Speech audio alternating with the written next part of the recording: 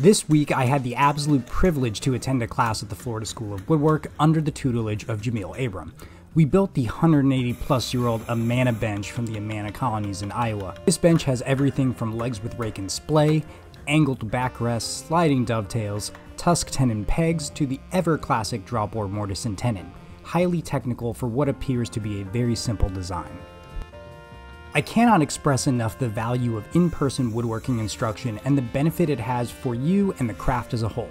Check out Florida School of Woodwork and the Handworks event that Jameel puts on in Iowa. And a special thanks to the both of them, along with the friends of the Florida School of Woodwork, for making this dream for me a reality.